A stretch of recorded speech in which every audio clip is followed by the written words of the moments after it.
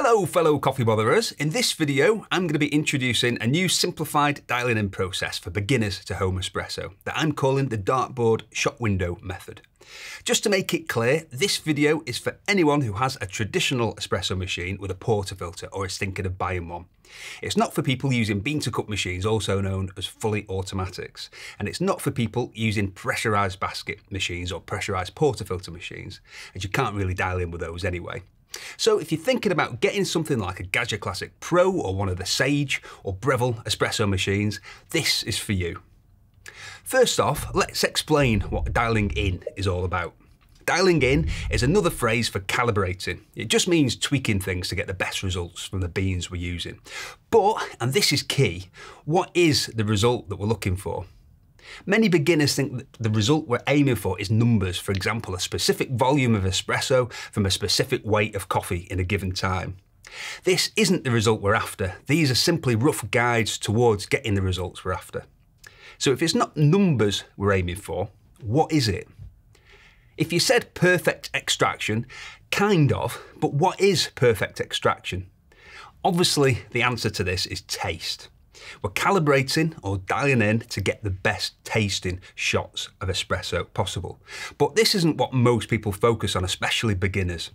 Most beginners end up being focused purely on numbers, mainly shot time. And in my opinion, this steepens the learning curve because often all isn't as it seems when you're focusing on the numbers.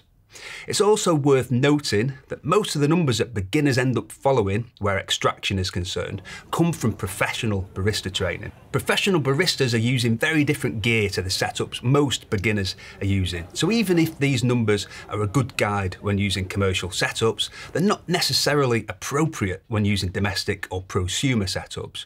But fear not, I'm going to make things much more simple for you to get great tasting espresso. Okay, so we've clarified what the goal is. Good tasting shots of espresso. And we've also clarified that all the numbers you'll have heard that you should be aiming for are just guides towards this, and they're not the goal in and of themselves.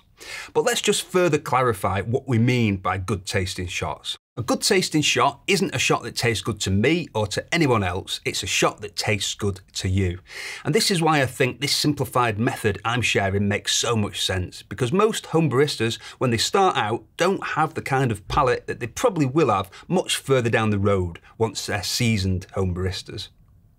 So what this means is that their palate in many cases is going to be easier to please at this stage than it may be in a year or two's time. Just keep this in mind as we continue and this method will make a lot more sense.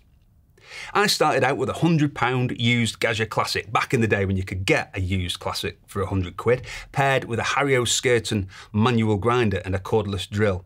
And I was happy as a pig in muck with the espresso I was making to start with. I wouldn't be happy with that espresso now, but what does that matter? It worked for me then, and I upgraded my skills, my gear, and my palate at a similar rate. The main number that I think causes this confusion is the shot window. There are others that I'll discuss in future videos, but this is a main culprit in my humble opinion. So what is the shot window? The shot time or shot window is the total time taken to pull the shot of espresso, and it's from when the water comes into contact with the coffee, so it includes the pre-infusion time. The problem with the shot window is it's needlessly small for home espresso, and especially for beginners. The two main shot windows you'll find are 25 to 30 seconds or 28 to 32 seconds.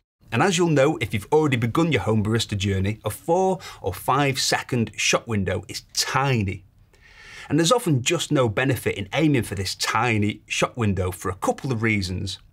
For one, as I've mentioned, most of us don't have the palate to detect the difference in the shot when we're just getting into it. And secondly, a difference of a few seconds in shot time often isn't going to have anywhere near the same impact on taste with entry-level home setups as it might with high-end prosumer setups or commercial machines.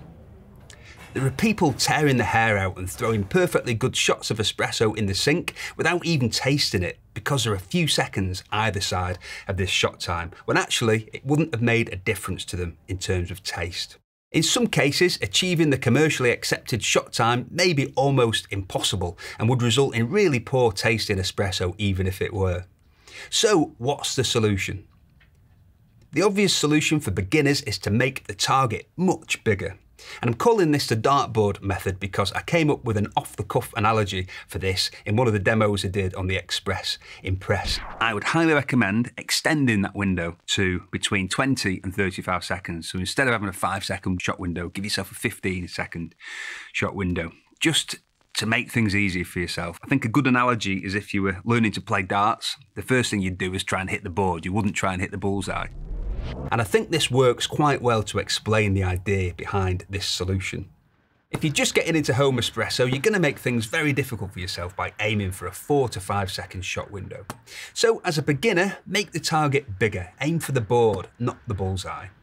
Instead of aiming for such a small shot window, widen it to 20 to 35 seconds and then be led mainly by taste. Even with this much wider window, I still wouldn't be overly focused on the shot time. Just use it as a guide and ask yourself this question with each shot.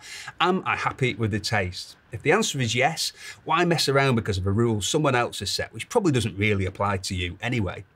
And if the answer is no, ask yourself why don't you like it and take the appropriate action as described, depending on whether you think it's over or under extracted.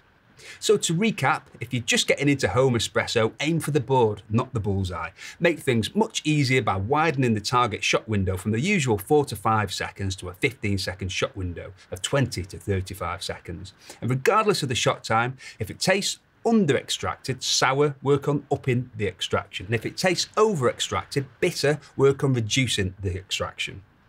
Don't dial in by numbers, dial in by taste. Use numbers as a guide, but make things easy for yourself while you're a beginner, aiming for a target you have a chance of hitting.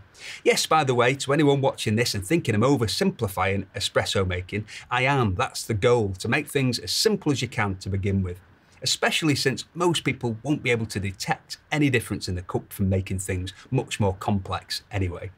I'm going to be creating other videos on simplifying the espresso making process, including a video coming very soon dispelling the most common myth where the dose is concerned. So make sure you're subscribed and allow notifications to see that when I've uploaded it. Thank you very much for watching and please don't forget to click the like button. The frigate bird can sleep while flying, which begs a question, what the heck is a frigate bird? And let's be honest, I'm only introducing this pointless fact because I wanted to say frigate. I've no idea what that's got to do with clicking the like button, but click the like button anyway, frigate. And if you've enjoyed this video, why not click here to watch another one? And don't forget to become an official coffee botherer, you need to click this image around here somewhere of my face to subscribe. Tatty bye.